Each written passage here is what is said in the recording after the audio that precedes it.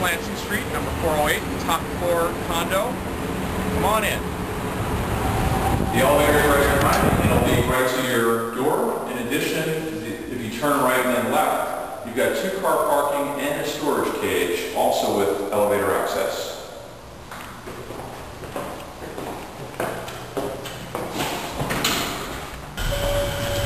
Step right out, turn right, and here you are at your unit door. Very easy to carry groceries.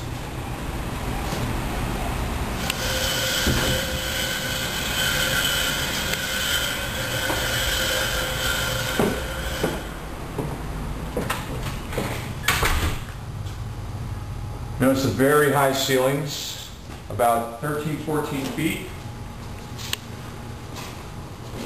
Big kitchen, especially for a one bedroom, one bath. Huge sets of tall windows and sliding glass doors. And this condo is detached on all four sides. You don't have any neighbors.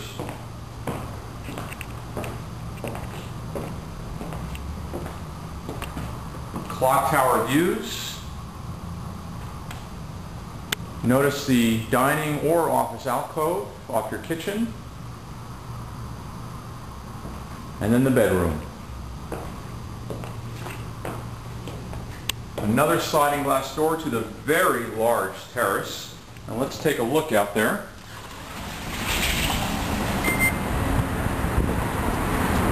Very unique to have so much outdoor space in a San Francisco condo. Back in.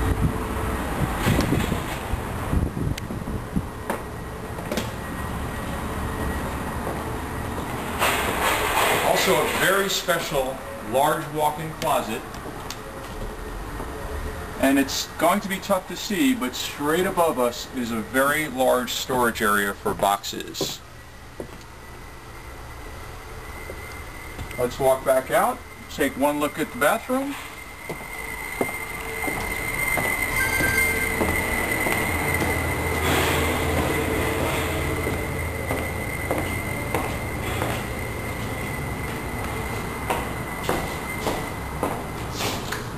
In-unit washer dryer, a double slate tile shower, and a double vanity.